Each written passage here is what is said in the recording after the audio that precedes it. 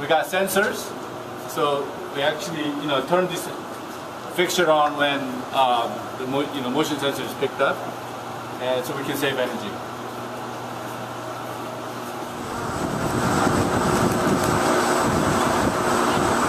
Okay with photos?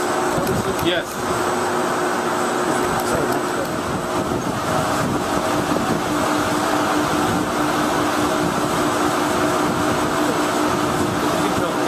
Right now we're running at about 72 degrees.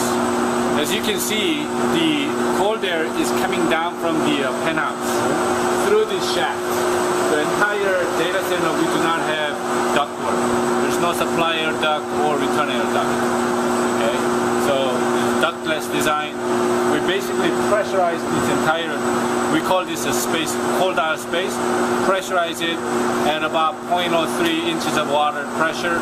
That air will then go through the servers and get collected in this hot air containment, as you, as you can see here. So if I open this one, and you can see it's a huge heat just being and this air is basically the hot air gets collected in the hot air plenum. So we contain the hot air.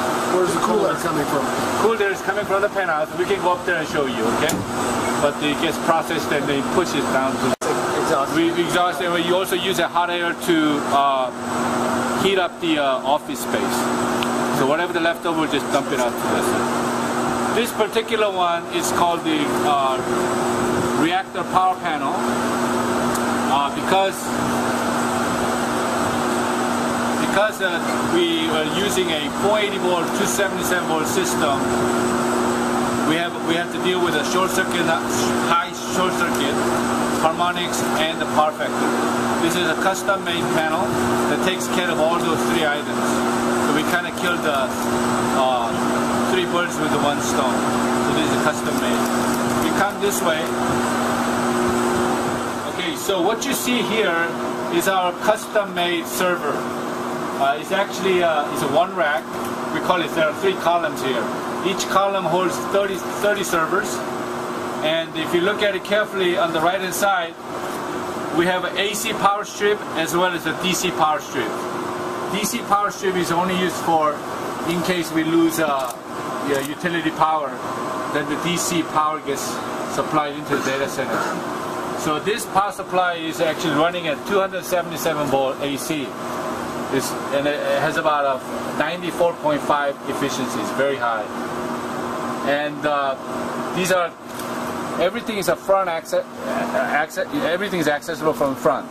So the, the power cables, the network cable, and the, and then once you dis- disconnect these cables, all the tray just comes out without any using without using any tools.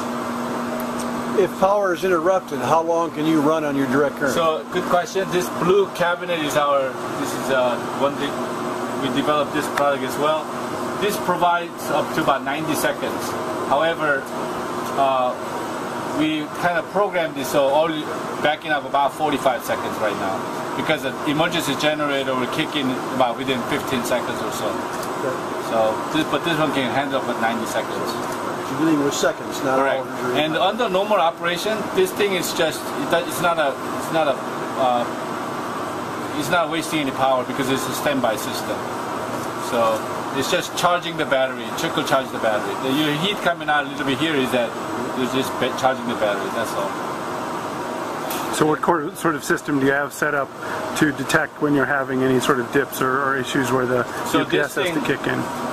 You mean the AC or Or- DC? So, so if it is AC, we have a system that monitors the voltage dip, uh, transient. Uh, we also, if anything with uh, the, the dirty power coming in, Right. it basically goes over to gener- it goes over to generator. And uh, this this is our basically is our UPS system. We call it DC UPS system. And the cost is extremely low compared to the centralized UPS system. And it comes in two different models uh, 56 kW and 85 kW. So we using 85 kW, we can actually sup- uh, power up three uh, tri- uh, triplets rather than six. So if you look at it here, uh, all all this thing needs is just a receptacle, the plug. goes right up to that AC plug, and you're, you're good to go. There's One plug. One plug. And then uh, there are six cables coming out, the DC cables, and then feeds each individual column. And those are all uh, 48 volts, so you, it's safe. You can, I wouldn't lick it, but you know, it's okay to touch it. You, you, it will not harm me at all. Our hot aisle is completely sealed, and if you can just come in for a minute.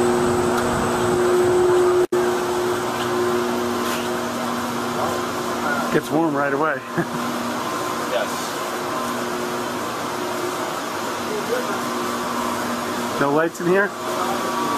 No light is required because reason we didn't put any lighting here is because no one should ever come to this space. Everything is accessible from the front.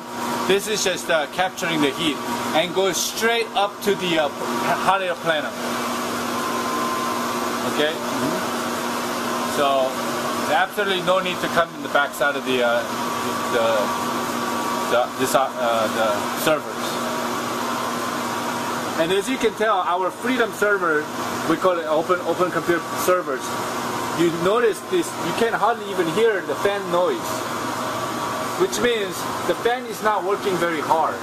The reason behind that is because we pressurize the cold aisle, and then the pressure is basically going through the uh, servers. So the server fan is working very, very low, uh, uh, uh, not hardly even working. I mean, so you can see just basically, you know, it's hardly run. I mean, so you can, that's why you're not hearing this bunch of noise. Okay?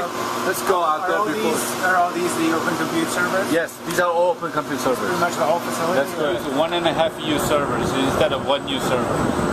So the reason why we did that is because so one and a half U, you could you could uh, deliver more air through that server, so the fan does not have to work so I mean the so hard and very efficient. And this is uh, if you make it very one U, you don't have much area to work with. So the fan has to work really hard to get the air into the uh, server. And one and a half U server, you don't. You heard that in the hot aisle. The fan's basically hardly even running. So it's very energy efficient. Run all the data cables, everything above floor, like we, we see over here. Uh, we do not have any raised floor here, obviously. Everything, we just contain the hot aisle, running everything over there.